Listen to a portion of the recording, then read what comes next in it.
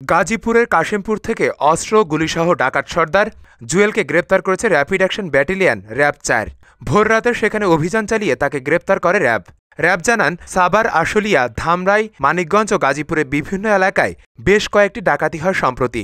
এসব ডাকাতির ঘটনায় ডাকাত সর্দার জুয়েল জড়িত ছিল বলে জানান র্যাব। পরে ভোররাতে গোপন সংবাদের ভিত্তিতে সেখানে অভিযান চালিয়ে ডাকাত সর্দার জুয়েলকে গ্রেপ্তার করা হয়।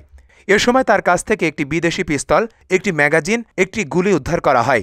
গ্রেপ্তারকৃত আসামি জুয়েল মিয়ার বিরুদ্ধে মানিকগঞ্জ জেলার দৌলতপুর থানায় একটি ডাকাতি মামলা, শেরপুর জেলার সদর থানায় একটি ডাকাতি মামলা ও দুইটি অস্ত্র মামলা রয়েছে। গ্রেপ্তারকৃত আসামিকে সংশ্লিষ্ট থানায় হস্তান্তর করা হয়েছে।